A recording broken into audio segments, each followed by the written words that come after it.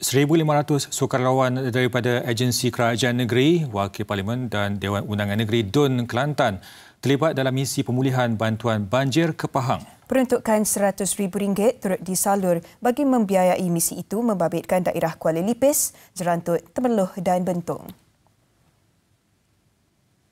Kita tahu bahawa apa yang berlaku di Pahang, eh, di Jerantut khususnya ataupun di tempat-tempat disebut tadi, luar biasa daripada sebelum ini. Jadi kita teringat kepada apa yang berlaku pada tahun 2014 yang kita waktu itu datang dengan secara tidak dijangka menyebabkan kita juga lumpuh pada peringkat awalnya tapi dengan kerjasama yang kukuh dengan kombinasi yang baik waktu itu dan kita dapat menangani Alhamdulillah walaupun bencana besar.